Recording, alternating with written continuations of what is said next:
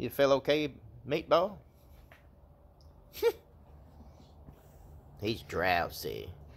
You see the knot had to be removed from his neck? Bless his heart. It's okay, Merlin. You sleep inside tonight with Meatball. You. Well, Meatball acts like he's fine. And there's the nut. You feel okay? He got that thing removed. You see the spot? Good boy, Meatball. Don't sit on it. I know, a honey. They didn't like going to the vet at all. All right. Just want to let everybody know he's doing good. Yes. I want to let everybody know that he's doing good, except for that one person that put something negative on my site about his weight. And we're really trying to wean him off of eating too much, but he's a European Basset Hound. He's a big boy. There's nothing I can do about it. I don't care if you're negative or not. Right, Meatball?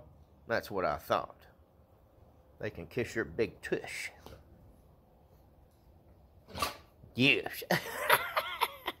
he loves his fans, though, don't you, boy? Yes. You're doing good. Yes, you are. Give a big talk. Talk to him. Say something good.